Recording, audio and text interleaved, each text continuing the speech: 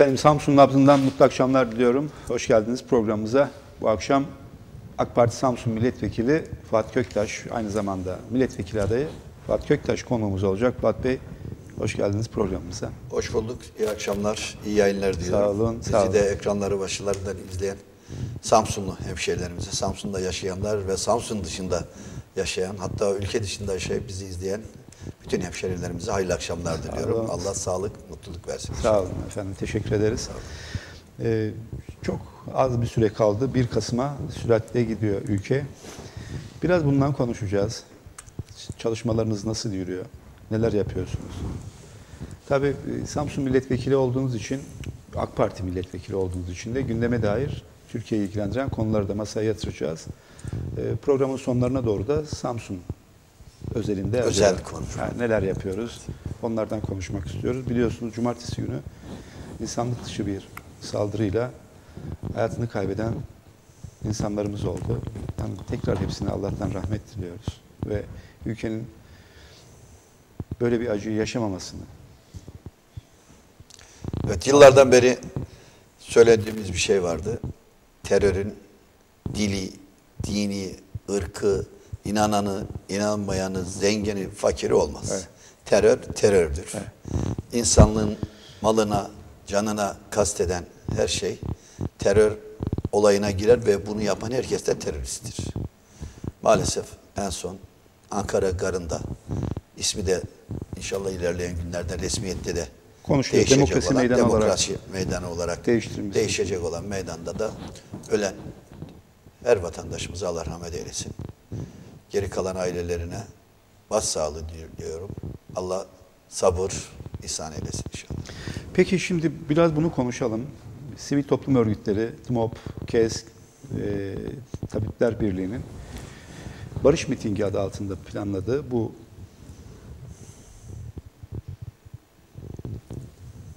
miting böyle olağanüstü bir sonucu karşımıza çıkarttı.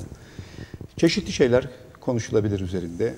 İşte saldırıyı kimin yaptı ya da canlı bombaların kimleri olduğu üzerinde çalışmalar da devam ediyor. Ancak IŞİD'le, DAEŞ'le ilişkilendirildiğini de biliyoruz. Siz PKK ile de ilişkilendiriyor. PKK ile de DHKPC ile de ilişkilendiriliyor. BG, Davutoğlu'nun, BYD ile de ilişkilendiriliyor. evet, Davutoğlu'nun da bu konuda e, değerlendirmeleri oldu. Siz bu saldırıyı Türk toplumuna e,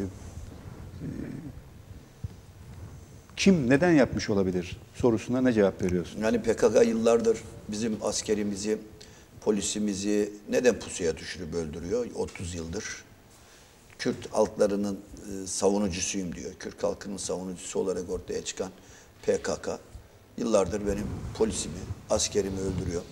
Doktorumu, öğretmenimizi e, ya kaçırıyor ya tehdit ediyor, e, öldürüyor. Amacı ne burada? Onun amacı neyse PKK'nın terör örgütünün o olayı yapan, Ankara Garı'nda olayı yapan örgüt hangi örgüt olursa olsun e, onun da amacı odur. Orada e, örgüt üstünlüğünü kabul ettirmek, sansasyonel olaylar yaratmak, gücünü göstermek, Türkiye almış olduğu görevi eksiksiz olarak yerine e, getirmek gibi vazifeleri var. Yani Türkiye'de bu terörist olaylar oluyor da bir grup insanlar hadi gelin teröristlik oynayalım diye yapmıyorlar bunu. Bir takım ülkelerin, Türkiye üzerinde emelleri olan ülkelerin planlamalarıyla taşeronluklarını burada yapıyorlar. Ee, yoksa e, durup dururken insanlar hadi gelin falan filan dedikleri yok. Diğer olay da böyledir. Kimin e, amacına hizmet ediyor? Türkiye'nin etmediği kesin. Türkiye'nin amacına hizmet etmiyor. Ama Türkiye'nin gündemini terör olaylarıyla meşgul ederek asıl Türkiye'nin hedefinden saptırmaya çalışan biz kimin yarıyor. ayağına basıyoruz bu anlamda güçlü bir Türkiye, ayağa kalkmış bir Türkiye. Kimin ayağına basıyor? Üreten Tür- Türkiye, ihracat yapan Türkiye, istihdam sağlayan Türkiye. Kimin ayağına basıyorsa bence bunlar kadar arkasında e, bu ülkeler var. Yani oradaki PKK'nın elindeki silahlar Türk silahı ya da PKK'nın ürettiği silah değil. Zaten örgütün kendisine ait üretilmiş bir Silahı da Mekanizması yok. da yok, yok yani. Şimdi Kürt siyaseti yaptığını iddia eden örgüt 30 yıldan beri 50 binin üzerinde insanın hayatına Kastetti, Katleden öldürdü, katletti. bir anlayış geliştirdi. Bunu biliyoruz zaten. Ve şimdiye kadar ortaya koymuş olduğu eylemler de baktığınız zaman daha çok özellikle Kürt insanların, vatandaşlarımızın yaşadığı bölgede yoğunlaşan asiyerle ve polisle karşı karşıya kalınan terör eylemleriydi. Doğru. Bu sefer bu iş sivil insanların da hayatına mal olan bir eyleme dönüştü. Yani hani Ter- örgütle terör terör seçmez. Terör terördür.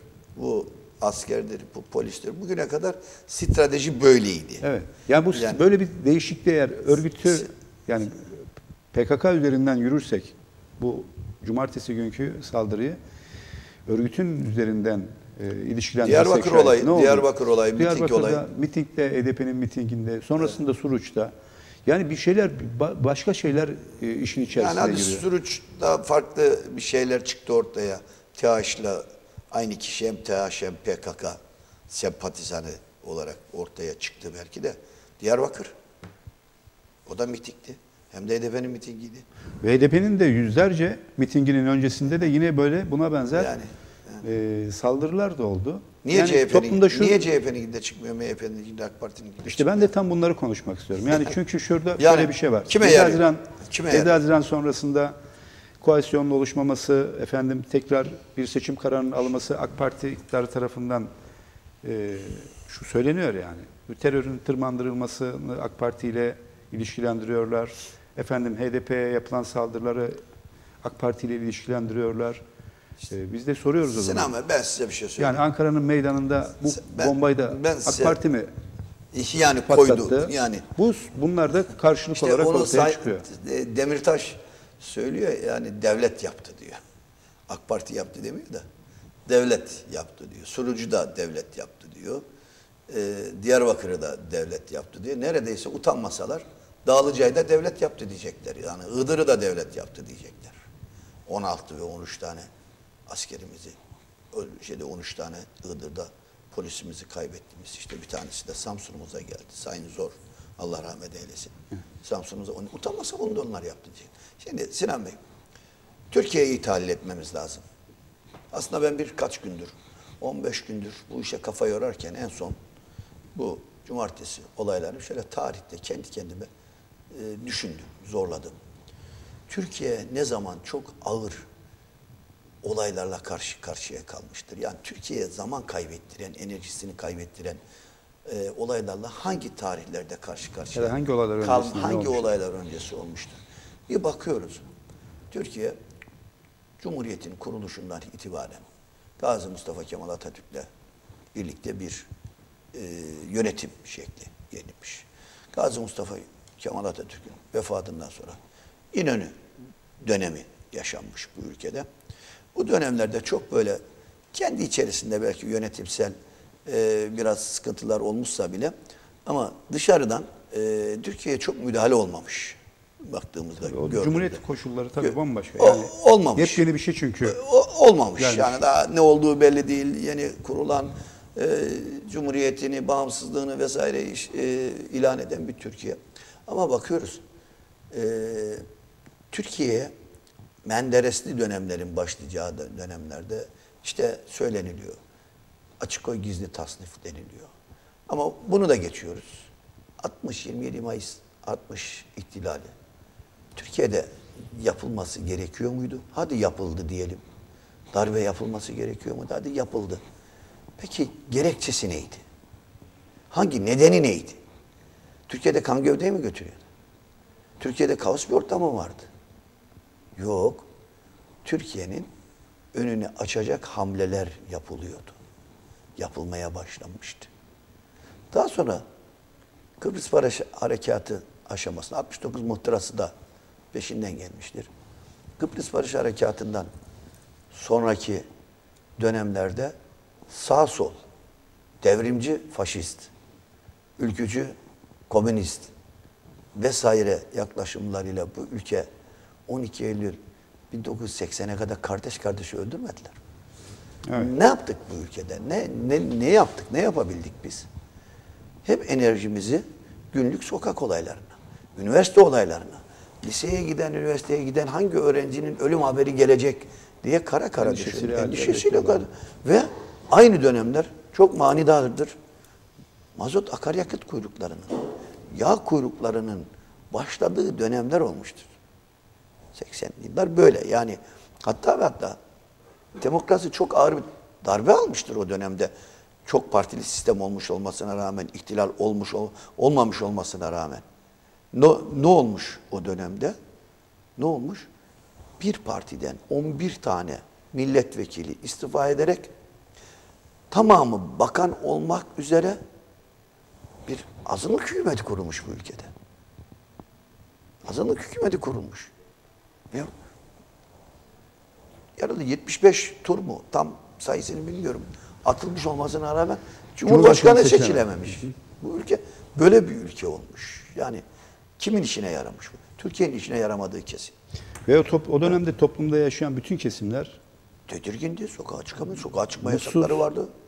evet bir arayış içerisinde Tabii, tabii. yeni bir şeyin ortaya çıkmasını da beklediler, umut ettiler tabii Ve, ki. ve çıkılmadı.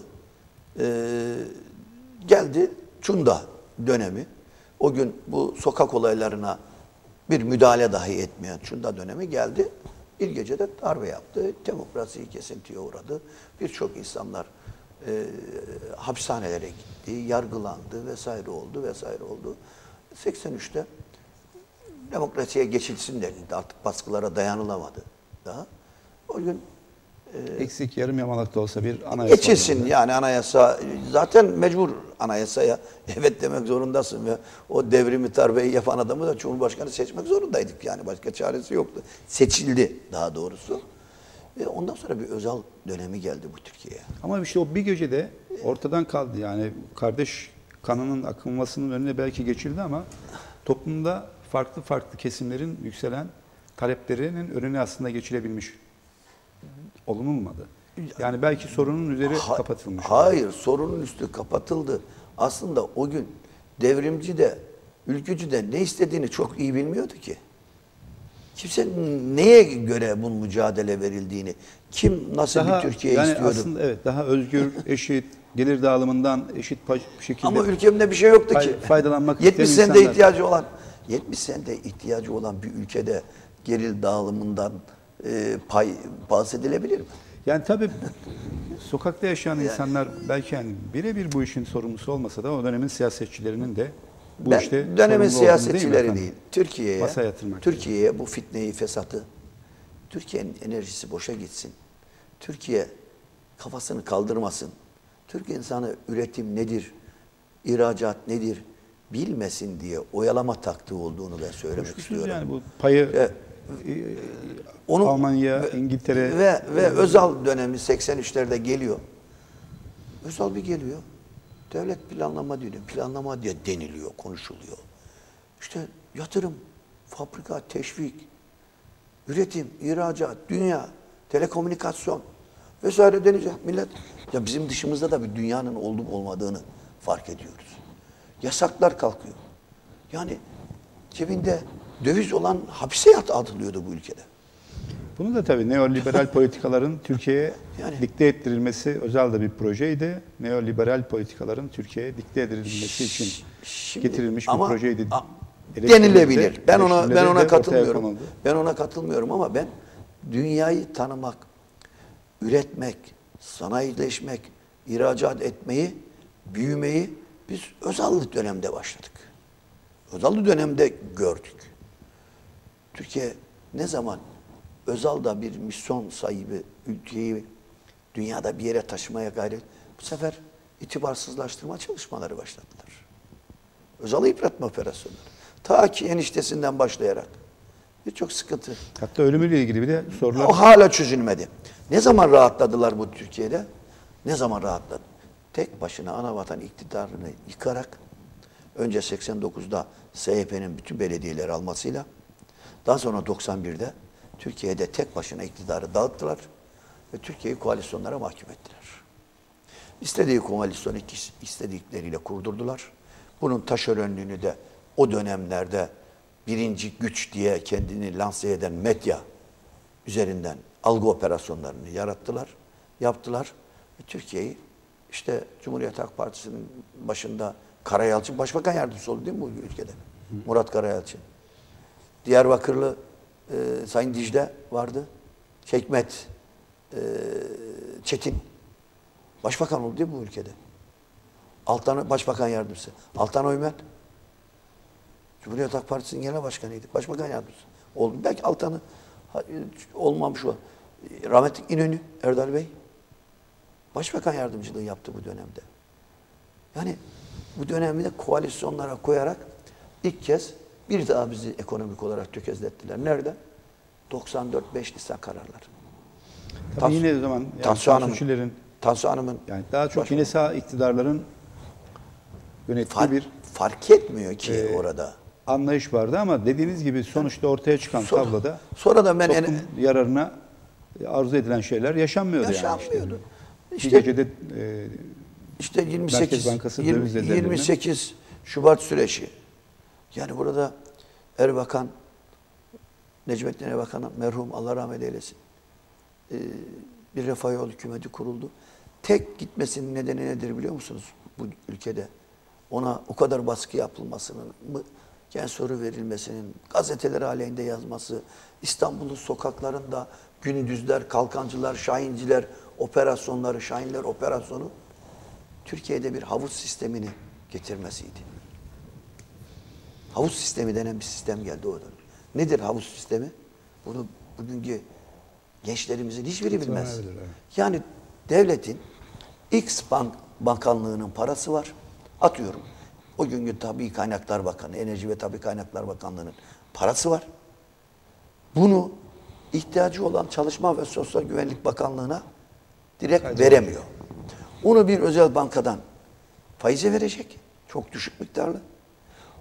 O banka, o kuruma çok yüksek borçlanmayla bunu faize verecek. Sayın Erbakan dedi ki ya böyle bir şey olabilir mi? Ben devletin, bu milletin parasına aşırı miktarda 7 bin, 8 bin repoların geldiği dönemlerde faiz vereceğim. Ben bunu devletin kasasından çıkarım. Yapmam havuz kuracağım dedi. Sen misin havuz kuran? Bütün holdingler, bankalar, medyalar, dışarıdan beslenen kalemşörler, e, kadrolu e, protestocular vesaireler hemen hepsi ayağa kalktı. Ve önce Çillere başbakanlık verilecek gerekçesiyle istifa ettirildi. Sonra başka bilmem gitti bu ülkede. Bu ülkede bir ayağa kalkma hala birçok e, işçi konuşur. E, biz biz meseleci Evet, meydanlarında evet. en iyi parayı biz Erbakan döneminde aldık der diyor hala. Konuşuyor benim emekler bana söylüyorlar işçiler emekler. Aldık diye konuşuyorlar. Yani böyle bir Türkiye ayağa kalkan bir Türkiye özüne dönen bir Türkiye olduğunda maalesef ve maalesef işte bu tip olaylarla ya da ekonomik bizi çökerterek ekonomimizi ellerine alarak bizi oyalama taktiği dış ülkelerin var. Yani O- cuma cumartesi günkü saldırının temeline dönüp bakalım dediğiniz zaman geriye doğru bir yolculuk yaptırdınız. Burada da böyle bir şey olasılığı PKK olayı da üzerinden böyle. bakıyorsunuz. PKK'nın Yani şimdi belki örgüt tabii biraz daha ortaya çıkmaya başladı. Yani o Adıyamanlı iki kardeş üzerinde canlı bomba üzerinde duruluyor ama orada is- bir istihbarat zayıflığından da Olabilir. bahsediliyor. Olabilir. Ben bunu itiraz bunu, etmiyorum. Bunu yani nasıl açıklamak Zafiyetten- gerekiyor? Yani kon- bir tarafta Zafiyetten konuşmuyorum. içerisinde- Sen burada kimen, niye olur dediğiniz için ben bir açıklama getirdim kendi çabımda buna değerlendirdim. Yani Türkiye'de geçmişten bugüne kadar neler olmuşu anlatmaya çalıştım. Hangi dönemlerde olduğunu anlatmaya çalıştım. Türkiye'de e, üç partinin bir e, 1999 18 Nisan'da yapılan seçimlerden sonra e, baktığınızda e, biraz e, son bir senesinde e, bu terörist olayların özellikle PKK'nın eylemlerinin biraz daha azaldığını belki görebiliriz. Ama o gün o gün Türkiye'yi ekonomik olarak teslim almışlardı. IMF zaten teslim almıştı Türkiye'yi. Türkiye'nin kıpırdayacak bir hali yoktu. Hayır, yani o dönemlerde e, örgüt de zaten bitme noktasına gelmişti ama şimdi tabii kanayan bir yara vardı. O yaranın da üzerine bir neşter atılması gerekiyordu. Bununla ilgili AK Parti'nin çözüm sürecini Attı. birazdan konuşacağız. Tabii. E, önemli adımlar oldu aslında. Fakat Niyet halis Burada- olmayınca.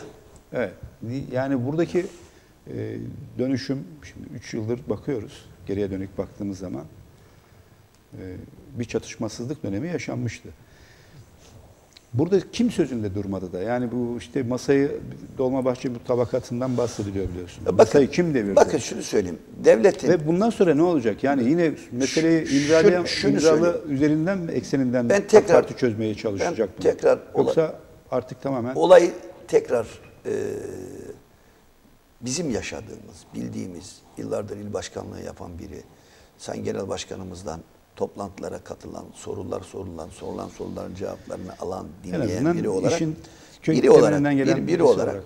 bakınız, biz 3 Kasım 2002 yılında Sayın Genel Başkanımız, şimdiki Cumhurbaşkanımız, Güney Doğu'da Kürt problemi yoktur, terör problemi vardır ifadesini kullandığında şu anda PKK'nın ve HDP'nin yanında duran, çözüm sürecimizi eleştiren, önce şimdi terör olaylarını eleştiren herkes bize ateş etti. Hayır, Kürt problemi vardır. Siz tespiti yanlış koyuyorsunuz dediler. Oysa ki gerçekten orada Kürt problemi yoktu çünkü çünkü PKK terör örgütü Kürtleri de göç ettirdi mecra, mezralarından göç ettirdi. İlçelerinden köylerini boşalttırdı onlara. Yani Kürt'ün hakkını savunmak için yola çıkan bir örgüt kendi ırktaşını, kendi hakkını savunduğu adamı göç ettirir mi? Kendilerini öldürdüler. Kendilerini öldürdüler. O insanlar da can güvenli. Biz bunu tespit ettik. Ve şöyle denildi. Terörle Kürt kardeşlerimiz ayrıştırılacak. Bu bir süreçti. Açılım dedik adına. Demokratikleşme süreci denildi adına. Çözüm süreci diyerek bunun adına bir aşamalar kat edildi. Gelmiş olduğumuz aşama... 2007'den itibaren örgütün yöneticileriyle de aslında bu bir belki AK Parti açısından siyasi bir riskti. AK Parti ama onu da ama AK Parti görüşmez, devlet herkesle görüşür. Devletin birimleri devletin içerisindeki bir sorunlu sorunu çözmek için herkesle görüşür. Niye var bunlar? Çözüm üretmek için var bunlar yani. Ki kimse de aslında bundan rahatsız da değildi. E, Oldu, çok rahatsız olanlar oldu. Hatta o gün bizim Ama en nihayetinde iş her iş neticesiyle ölçüldüğü için artık her iki evden, üç evden bir tanesinde bir şehit var. 70'lere 70'lere falan çıkmıştı. Şimdi e, olay şu. Sonuçta yolunda giden bir şeyler varken birdenbire Ol- olay şu. e, olay değişiverdi. Özellikle bu eleştiri de yapıyorlar. Yani bir anlaşma İşte konsensus oraya, söz or- konusu. oraya, oraya gelmeye çalışıyorum ben de zaten. Devletin bir anlaşması falan filan olmaz. Zaten oradaki e, çözüm sürecinin temel şartı şuydu. PKK silahlarını bırakıp kayıtsız, şartsız silahlarını bırakacak, ülkeyi terk edecek. Bunun üzerinde daha tartışmaya gerek yok. Bu ne destekleri ediyor? Evet. Kayıtsız, şartsız silahlarınızı bırakacaksınız. Başka türlü de bir şey Ve konuşmak ülkeyi mümkün terk edecek. zaten. Başka bir şey seninle konuşamam. Yok, Dolmabahçe mutabakatıymış, yok şuymuş, buymuş. Bizi ilgilendirmiyor. Orada koyulan tek şart. Bırakacaksın, ülkeyi terk edeceksin. Bu. Buna uydular mı? Uymadılar. Tam tersine bunu suistimal ettiler. Tam tersine. Yani o çözüm sürecinde aman devlet tarafından bu çözüm süreci bozulmamasına özen gösterilirken onlar özellikle biz istediğimiz gibi davranalım, devlet de bize müdahale etsin, çözüm süreci bozulsunu beklediler. Devlet sabretti burada. Devlet sabretti. Y- 7 Haziran'ı biz burada geçirdik. 7 Haziran'dan sonra Urfa Suruç olayı nasıl oldu, niye oldu, hadi bu oldu diyelim başka terör örgütü TH yaptı vesaire vesaire diyelim. Peki Ama orada da orada da Gece tabii saat- şey- yani genelde örgü, PKK üzerinden konuşuyoruz. gece saati yok TH hadi yaptığını kabul ettim 32 kişi. Peki gece saat 2'de Urfa Ceylanpınar'da uyuyan polislerimizin ensesine kim kurşun sıktı? Peki Örgüt orada önce sanıyorum kabul etti sonra reddetti. Evet biz yaptık dedi sonra galiba ya üstlenmekten vazgeçti. Değil mi? Böyle bir şey oldu. ya yo ben vazgeçtiğini duymadım orada. Yani orada daha doğrusu onu gençlik yapılanmasını onu- işaret etmeye onu başladı. da kabul ettik. Onu da kabul ettik. Geçiyorum. KYK. Geçiyorum. Peki Diyarbakır'da. Diğer hep ardı ardına geliyor bunlar. Ya bu sabır testi yapılıyor. Diyarbakır'da Mitingde. kaza ihbarı, kaza ihbarı 7 Haziran'dan sonrasını konuşuyorum. Evet. Kaza ihbarı verileri verilen, kaza ihbarını alan polisimiz olay yerine gidilirken pusuya kim düşürüp de öldürüyor? Erzurum Karlova'da hasta ihbarı alan sağlık ekiplerimiz hastaya giderken, hasta mahalline intikal ederken kim kaçırıyor? Kim kaçırıyor? Yani olayları iyi değerlendirmemiz lazım burada. Orada tek senaryo vardı. Devlet Bahçeli nasıl dedi, niye dedi, kim dedirttirdi bilmiyorum. Ama 8 Haziran geçici saat 01.30'da yani 7 Haziran'dan sonra kalkıp seçime yönelik daha farklı bir şeyler konuşması gerekirken biz hiçbir koalisyon hükümet ortağında yokuz. AK Parti, CHP, HDP hükümeti kursun. Biz de ana muhalefet partisi denetçisi olalım. Oluyorsa olsun, olmuyorsa erken seçim ne kadar erken olursa o kadar erken olsun. Kim dedi, niye dedi? Onu ama nasıl şöyle açıklıyor işte? MHP. Vatana Yani- ihanetle AK Parti'yi suçluyor. HDP ile zaten yola kol kola girmişler efendim. E, bu meseleyi Tamam. de birlikte Bir çözümlesinler bek- ama dedi. bir bekle. bir- Bunun toplumdaki karşılığını peki şimdi sokaktasınız nasıl görüyorsunuz? Ben şimdi onu MHP açısından. oraya geliriz. Yani MHP MHP açısından oraya geliriz. Bunu 3-5 gün sonra yapabilirsin. Seçim sonuçları beklenin e, ortaya çıkınca söyleyebilirsiniz. Se- Yüksek Seçim Kurulu ilan ettiği zaman söyleyebilirsiniz. Şartlar gelişebilir. Ama Allah aşkına Sayın Bahçeli, Vah Sayın Bahçeli, 1999 yılında siz Demokratik Sol Parti ile iktidar olurken genel başkanlığını genel başkan yardımcılığını alırken Rahşan Hanım'ın ben katillerle hükümet kurmam. Bu katillerle mi hükümet kuracağız demesine rağmen gidip Demokratik Sol Parti ve Anavatan Partisi, Milliyetçi Hareket Partisi ortak bir hükümet kurarken bugünkü Anavatan AK değil. Partisi'yle hükümet kurmak çok daha mı tehlikeli? Neye rağmen? O gün sizin tabanınız bu koalisyonu onaylamadı. Ama bugün Milliyetçi Hareket Partisi'ne oy veren seçmenin yüzde doksanı evet bizim iktidar olmamız lazım.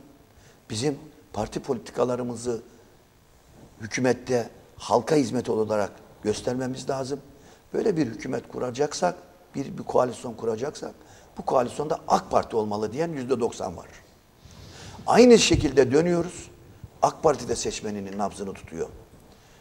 AK Parti'ye oy veren seçmenin yüzde yetmiş beşi biz bir koalisyon kuracaksak Milliyetçi Hareket Partisi ile kurmamız gerekir dediği halde Yükselen bir yaklaşım vardı. Ama diğer taraftan de- işte dediği halde şimdi ne oldu? Ne oldu orada?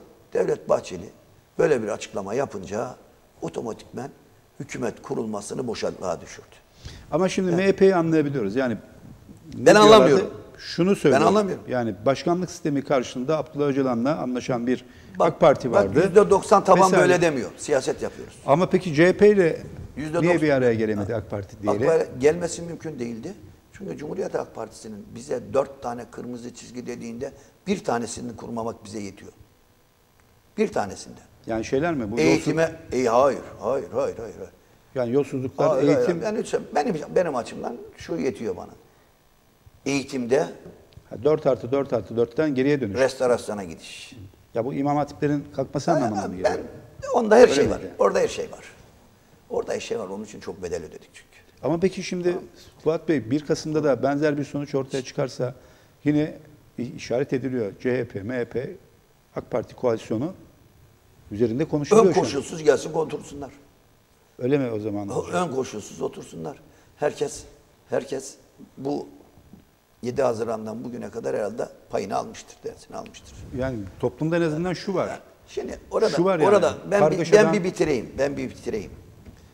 Bu açıklamalardan sonra AK Parti'yi Cumhuriyet Halk Partisi Sayın Bahçeli'nin açıklamasından sonra Cumhuriyet Halk Partisi ile adına da toplumsal mutabakat dedikleri bir koalisyon kurmaya mecbur ettiler.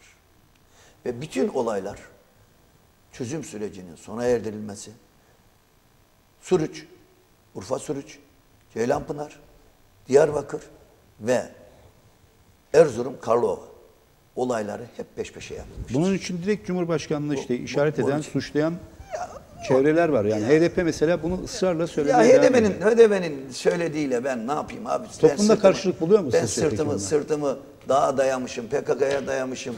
De- de- Demirtaş seçimden sonra emanet oylarıma sahip çıkacağım demiş. Daha ona haber göndermiş. Sen ne konuşuyorsun? Kimsin demiş ya.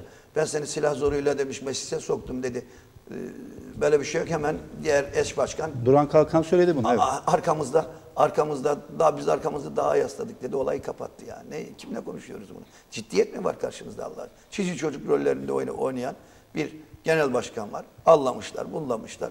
Bütün senaryoyu üzerine koymuşlar, yazmışlar. Oynanıyor. Yani bugün Peki CHP yani bugün bugün CHP'de milletvekili seçilmiş biri Sayın Sallabaş. Buna nasıl bir akıldır, nasıl bir fikirdir, nasıl bir davadır ben anlamıyorum. Cumhuriyet Halk Partisi'nden milletvekili ikinci sırada aday olmuş biri. Ben kendime oy vermedim, partime oy vermedim, HDP barajı atsın diye HDP'ye verdim diyen bir zihniyet var. Böyle bir gerçek oluştu ama değil mi? Yani 2-2,5 milyon seviyesinde oy alan bir siyasi parti 6-6,5 milyonlar seviye. Şimdi ne görüyorsunuz peki? Bakın şimdi, bakın şimdi. Bu nereye düşecek sizce? Ben, ben şunu söyleyeyim size. Böyle bir şey oluştu derken bu da bir projedir. O oluşması da bir projedir. Olayları yavaş geçmeyin lütfen. Ee, AK Parti'nin tek başına iktidar olamamasının tek yöntemi var, yolu vardı. O da HDP'nin meclisin, meclisin dört partili olmasıydı. hı, %10'un üzerine geçmesi. Dört partiliydi. Bütün senaryoyu bunun üzerine kurdular. Bunun çözüm süreci dediğimizde hop hop hoplayan Doğan medyası, yapı paralel yapısı vesairesi bu 7 Haziran seçimleri öncesinde hep bir oldular ve aynı hedefe ateş yaptılar.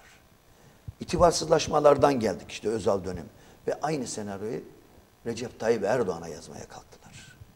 İşte padişah dediler, diktatör dediler vesaire. İktidarlık yap- Bütün Evet. algı operasyonunun sonucunda Diktatör. bunlar diktatör çıktı denildi. Ailesine akla hayale gelmeyecek iftiralar attılar. Nasıl bir diktatörlük ülkede Cumhurbaşkanlığının yaptığı bir ülkede yaşıyoruz ki? Herkes her istediğini söylüyor. Yazıyor, konuşuyor, sosyal medyadan paylaşıyor. Yine Recep Tayyip Erdoğan diktatör oluyor. Ya diktatörün olduğu bir yerde bunları konuşabilir misiniz? Bunların yanından geçebilir misiniz? Ama yine de orada bir toplumda bir hassasiyet var. Yani eleştirildiğiniz zaman e, yargılanıyorsunuz, Ya tutuklanıyorsunuz. hakaret boyutu, Bunlar hepsi acaba- hakaret. Bakınız, şimdi burada e, Cumhuriyet Halk Partisi bir milletvekili benim yerimde olmuş olsaydı. Bak ben bugün Bahçeli'yi eleştirdim. Tabanına sahip çıkmadığı için. Tabanının sesini dinle. Bu hakaret midir? Hakaret değil. Bir değerlendirme Ben yapıyorsunuz. de değerlendirme Tespit- yapıyorum. Kendinizce bir ben tespit, tespit ortaya ediyorum. Ben diyorum ki e, Sayın Bahçeli tabanı istemiş olmasına rağmen teşkilatları iktidar olmak istemiş olmasına rağmen buna kulağını kapatmıştır. Dinlememiştir. Tek adamlık yapmıştır. Bunu ben söylerim. Bu bir tespittir. Benim açımdan bir eleştiridir. Ama diğer taraftan, diğer taraftan ailesiyle akla iyilik hale gelmeyecek işler. Arkadaş, singaflı konuşmalar bunlar eleştiri değil ki. Bunlar düpedüz hakarettir. Peki şimdi e, tabii önemli bir kısmını oluşturdu. Bugünkü e, karmaşayı tanımlamaya çalışırken çözüm süreci ve çözüm süreci ile ilgili yürünen yoldan e, vazgeçilmesi, sonrasında yaşanan olaylar vesaire bunları konuşmamız gerekli oldu ama biraz da DAEŞ konuşmak gerekiyor. DAEŞ'ı e, Suriye'de ve Suriye'nin de dışında daha doğrusu AK Parti'nin e, dış politikasının e, içerisinde ilişkilendiren, işte oradaki Özgür Suriye ordusunu destekleyen bir AK Parti'nin e, sebebiyet verdi. En azından kurulması da e, müsamaha gösterdiği ile ilgili eleştiriler var. Bu eleştirilerin sonucunda da işte Suruç ve en son Ankara'nın Türkiye'nin kalbinde bu bombayı patlatacak kadar da e, yol verilmiş, ilişkilendirilmiş bir DH AK Parti ilişkisi ortaya konuluyor. Bu konuda ne söyleyeceksiniz? O konuda biz başından, nereye koyuyorsunuz biz yani? başından beri söylüyoruz. Sayın Cumhurbaşkanımız terörle alakalı bir tanımlama yaptı. Ben de kullandım onu az önce. Terörün inananı, inanmayanı, komünisti, faşisti, devrimcisi, ülkücüsü, muhafazakarı, demokratı olmaz. Terör terördür. Amacı da belli zaten. Bir Amacı da bellidir. Korku, ama bunu başardı. Toplumda Bunu- böyle bir Arkadaş, korku yarattı değil mi? DİAŞ, DİAŞ Suriye'ye gelene kadar nereden geçti? Nereleri yakıp geçti? Kim yol verdi buna buraya oturmasına, yerleşmesine? Nereden buldu bu kaynağı? Nereden buldu gerçekten? Nereden buldu? Yani biz mi gönderdik buna? Altlarındaki arabalar, Toyota'lar, makineli tüfekler. Bizim makineli tüfeğimiz var mı arkadaş? Peki orada şöyle bir şey söyleniyor. Siz de katılıyor musunuz bilmiyorum.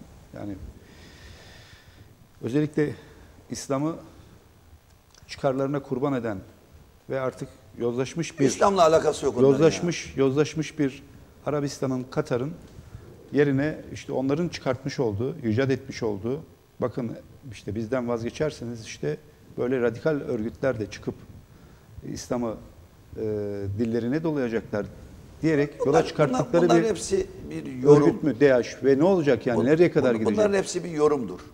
Biz şuna fiili durum olarak bakarız. Bugün Türkiye PKK ile mücadele ederken hemen yanı başında Türkiye'yi tehdit eden TAŞ terör örgütü vardır. Ve bu terör örgütüne katılmak için İngiltere'den gelip turistik, dini turizm amaçlı vesairelerle gelip Türkiye'yi geçiş olarak kullanan İngilizlerin sayısı az değildir. Bunlar basından öğreniyor. Doğru. Doğru. Bunları basından öğreniyoruz ya. Fransızların sayısı az değil. Yakalanıp ve geri. Ve ve bu ülkenin istihbaratları bizim ülkemizin istihbaratlarına hiç bilgi de vermiyorlar. Yani böyle birileri bizden seyahate geliyor. Turistik seyahate geliyor. Türkiye'nin içerisinde bunları kontrol edin dahi demiyor. Evet. Ya geliyorsunuz, geliyorsunuz. Gazeteci kimliğiyle Güneydoğu'da ajanlık yapan, istihbarat yapan insanları alıyorsunuz, buluyorsunuz. Ve bunların sayısı hiç de az değil. Sinan Bey hiç de az değil. Evet. Hiç de az değil çünkü Türkiye'nin stratejik noktalarını bunlar tespit edip ilgili birimlere aktarıyorlar. Nasıl işiti? Ne işiti? Ne Müslüman terörü? Vesairesi. Ee, bu Nasıl apayrı 11 bir konu Eylül, başlığı. 11 Eylül İkiz Kuleler bombalandığında nasıl bir tepki koyduysak o gün dahi koyulan tepki bugün de aynı tepkidir. Bugün Avrupa bütün sıkıntılardan korunmak için bu tip olaylara, yapılanmalara hep adres gösteriyor. Evet. Adres Evet, gösteriyor. ta- tarihin her döneminde Evet, gördük. işte ben onun için Menderes'ten aldım ülkenin huzurunu Peki niye bundan kaçırılır sonra ne bundan sonra diye. şimdi çok az bir zamanımız kaldı. 5 dakikamız var. Orada özetlemenizi arzu ediyorum. Öyle mi? O kadar hızlı geçti. Ne kadar geçti ya? Ama Takıldık burada. özeline girdik biraz daha. Yani bir şey ne olduğunu anlamak için gerisine bakmak gerekiyor. Bunun için konuştuğumuz bunları. Ne olacak yani bu toplumdaki bu e, tedirginlik halinin bir kere ortadan kalkmasını herkes istiyor. Özellikle Bütün şunu söyleyeyim size. Ee, 1 Kasım'da Türkiye 1 henüz, Kasım evet. Türkiye henüz. Sokak nasıl yani? Bana biraz Onu hemen söyleyeceğim. Oraya geleceğim. Tü- Türkiye henüz aynı anda bir iki partiyle yönetilmeye hazır değil. Türkiye henüz bu altyapısını tamamlamamış. Çünkü sistem daha henüz buna göre kurgulanmamış. Yani kurumsal kimliğimizi henüz taşıyamadık, tamamlayamadık. Bunu tamamlayabilmemiz için önümüzde biraz daha zaman var. Yatırımlarımızı bitirmemiz lazım. Bugün bu oyunların oynanmasının temelinde her birinde Türkiye'nin üreten bir sanayi toplumu haline dönüşmesi, ihracat yapabilmesidir. Bunu net olarak koyuyorum. 2013 gezi olaylarında başlatılan ağaç böcek işinin bir devamını Türkiye 17-25 Aralık'da yaşadı. Bunu şöyle düşündü bu yıkım ekipleri. Çünkü Türkiye'de iktidar indiren, iktidar bindiren, istediğini istediğiyle koalisyon kurduran bir güç var yıllardır yani. E, onu ona mahkum işte ben söyledim Sayın Demir e, Bahçeli her şeye rağmen ben bu katillerle hükümet kuracağım 99'da diyen Raşat Ecevit'e rağmen gidip hükümet kurmuştur. Bir güç var bir şeyler yapılıyor bu yaptırılıyor ama öyle ama böyle yaptırılıyor. Türkiye 2013 gezi olaylarından itibaren alınan şartlar, taraflarla oturup konuşulanlar var. Gezi olaylarında ağaç için toplananlar bir, ne diyor? İstanbul'a 3. havalanı yapma. Hidroelektrik santrali yapma. Nükleer santrali yapma. Üçüncü köprüyü yapma. Kanal İstanbul'u yapma. Ya bunun Allah aşkına ya ağaçla, çevreyle ne alakası var? Bunun hiç bununla alakası yok ama bize elektrik satan, bizi enerjiyle sömüren her yıl 60 milyar dolarımızı alan ülkelerin çıkarı var. O da ayrı bir konu başlığı. Ondan bahsettiniz Abi ben enerjiyle bu- ben ilgili. bugün buraya geliyorum ama. Peki sokak- Bütün bunların peki. altında bu var. Ve sokağa aynı şeyleri de anlatıyorum. Ben bu konuştuklarımı. Siz anlatmadan önceki hava sokak, nasıl peki? sokak diyor ki bana 7 Haziran'dan önce biz yarın bir iş bıraktık onu tamamlayacağız. Öyle bu algı var yani. Yani 1 Haziran, Ya- 1 yarın Kasım'da kaldı. AK Parti Biz sizden biz her şeyi gördük. Biz yanlış yaptık deniyor. Hayır ya seçmen yanlış yapmaz. Her zaman doğru karar vermiştir. Bunda da bir hayır vardır diyoruz. Ama şöyle etrafınıza kullanın. 1 Kasım her şeyin rovanşın yapılacağı bir seçim olacak, Olacak. deniliyor. Ve bize gelmeyin başka kapıya gidin diyor. Başkasını gidin diyor, konuşun diyor. Sokak böyle diyor. Sokağım, "Ha şu parti parayı açar, şu parti şu kadar düşer falan filan. Ben hani genel Türkiye bir politikası olduğu için bununla ilgili çok yorum yapmak istemem.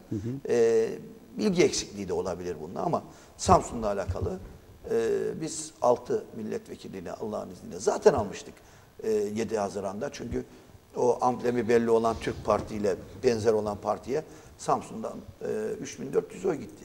Türkiye'de 90 bin oy aldı bu parti. Evet burada da yaklaşık 1000 oy civarında oyla Ya yo 500 öyle 490 oy toplamda daha almış bak, olsaydık artılar eksiler. e, almış olsaydık gidiyor 3400 oy. Türkiye'de 90 bin oy alıyor bu parti. 3400'ünü Samsun'dan alıyor. Bir enteresan daha size istatistik vereyim yani gerçek şey vereyim. Samsun'da iptal edilen oyların 8 bin tanesine hem o Türk Parti'ye hem AK Parti'ye mühür vurmak şartıyla iptal ettik. Önce gitti yanlışlıkla ona vurdu. Sonra AK Parti'ye vurdu ama oyunu iptal etti. 8 binde böyle bir oy var.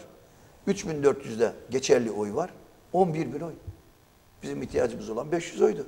Zaten biz bunu vatandaş vermiş bize bunu Samsun'da.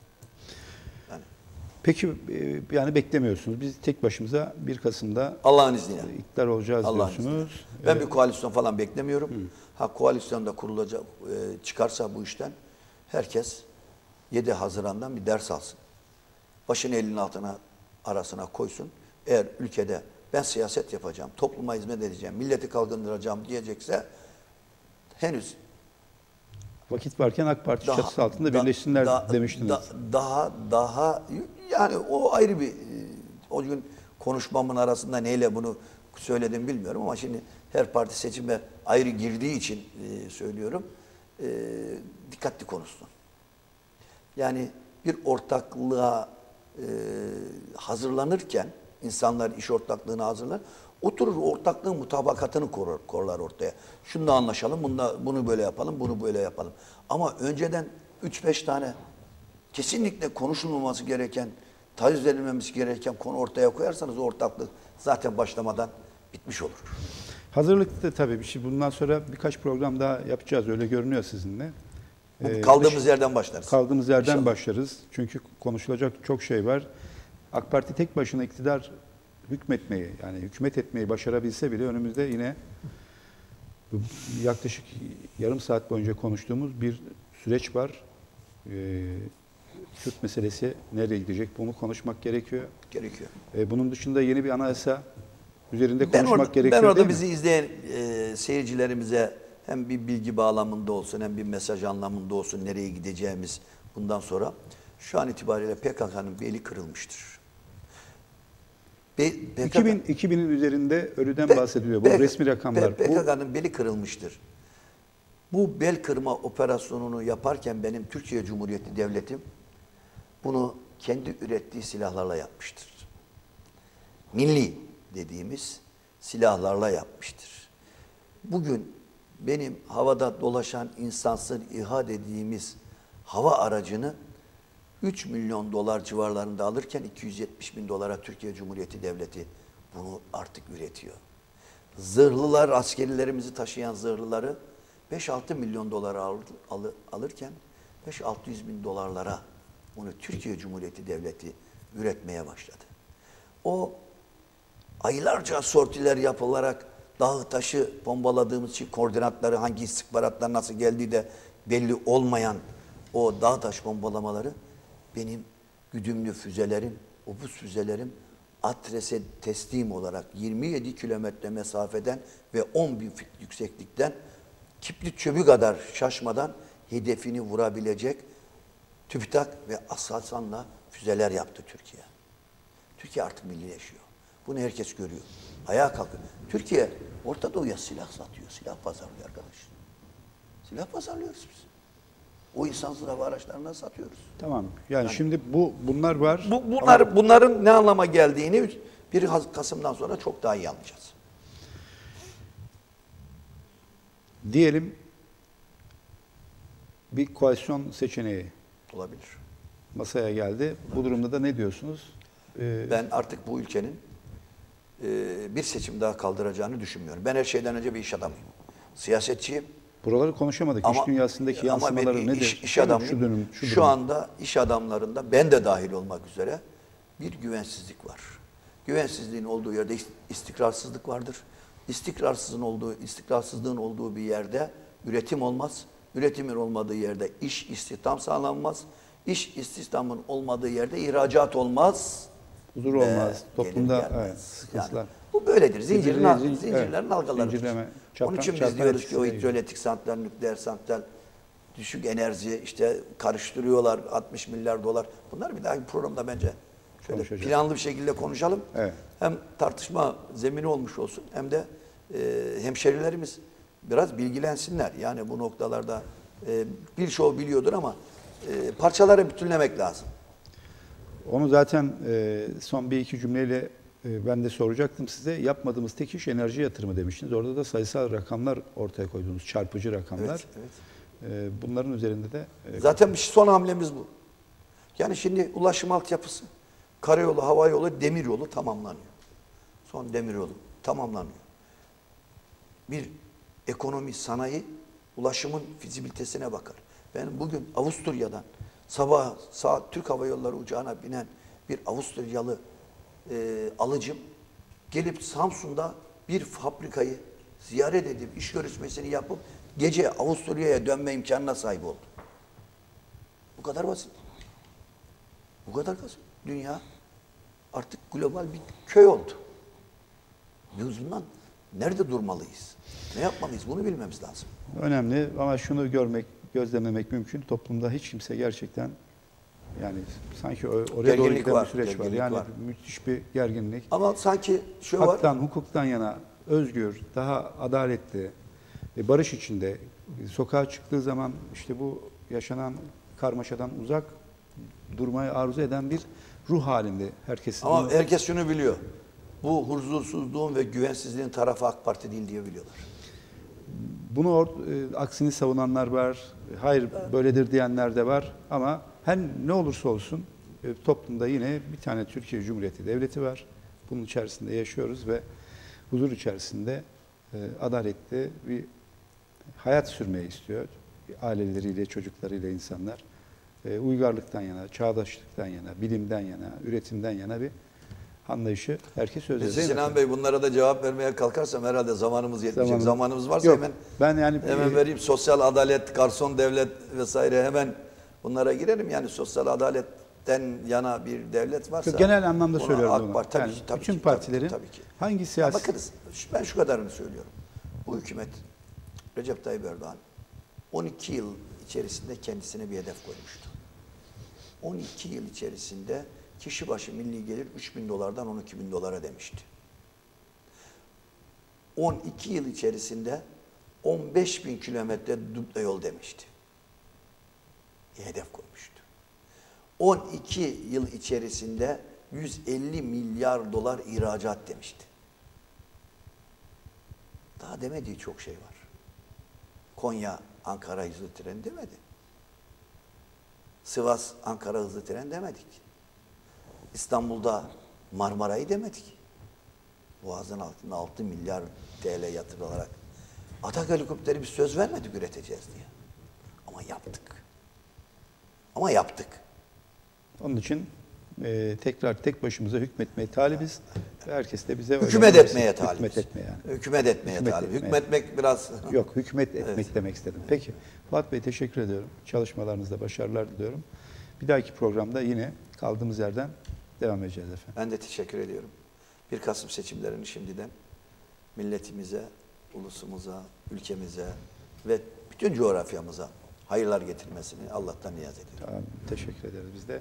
Efendim e, Samsun'un nabzında ilk bölümde e, Adalet ve Kalkınma Partisi milletvekili Fuat Köktaş ve milletvekili adayı Fuat Köktaş konuğumuzdu. Kısa bir ara vereceğiz. Ardından Cumhuriyet Halk Partisi Samsun milletvekili e, Kemal Zeybek e, ve aynı zamanda adayı Kemal Zeybek konuğumuz olacak. Bizden ayrılmayın. Kısa bir ara veriyoruz efendim.